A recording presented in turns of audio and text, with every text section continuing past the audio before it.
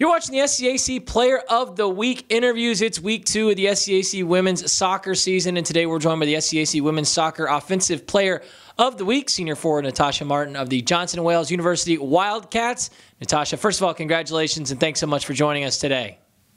Thank you so much. I'm glad to be here. Natasha, you and the rest of your Wildcat teammates back to 500 after a pair of wins over Bethel and Mills in your two home openers over the weekend. Just speak to the importance uh, of you know bouncing back after a tough opening weekend. Nine goals from this team in two games, pretty impressive overall performance. Uh, you know, how excited are you uh, to to get back uh, to, to, those winning ways uh, with those two wins? I'm definitely really excited. I'm really trusting in the process right now. Um, relying on a lot of support, just moral support from friends, family, um, our athletic trainer Robin. She's been really helping out, and just really going in back into that culture of like the team dynamics and just trying to get everybody to remember at the end of the day we're playing soccer and just remember the basics. Individually, Natasha, you were outstanding over the weekend in the two games.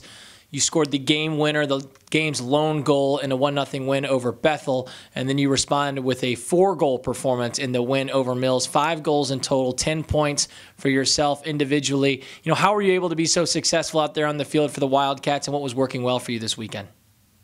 Um, just remembering at the end of the day that it is soccer, like I said, just remembering the basics, not letting the injury that I am recovering from or fully recovered from from the summer um, not letting that bother me, just kind of pushing through, and like I said, trusting the process and believing in not only myself but my peers to help me along the way.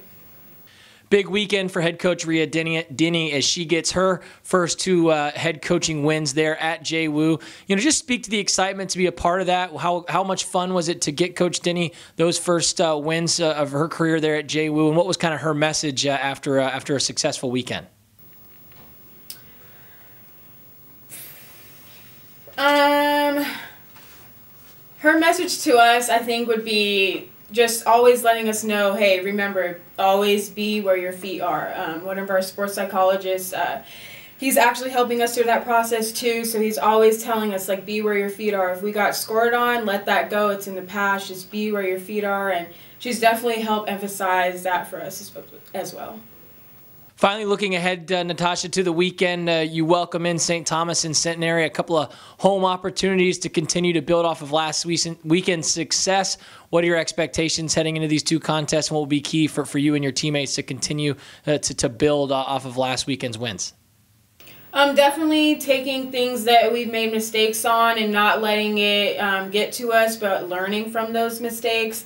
Um, I think communicating is definitely a big thing that we need to focus on and just at the end of the day just playing the game like we're here all to have fun we're not here on scholarships or anything just at the end of the day playing with one another and really focusing on creating that culture and dynamic now it's time for the fastest minute in all Division Three sports. That's right, it's the SCAC 60, a chance for you, SCAC Nation, to get to know your SCAC players of the week a bit better. Natasha, are you ready? Yes. We'll put 60 seconds on the clock, and here we go. Natasha, what superpower would you rather have, invisibility or the ability to fly? Invisibility. Are you a morning or night person? Night. Coke or Pepsi? Neither. Favorite holiday? Um, Christmas.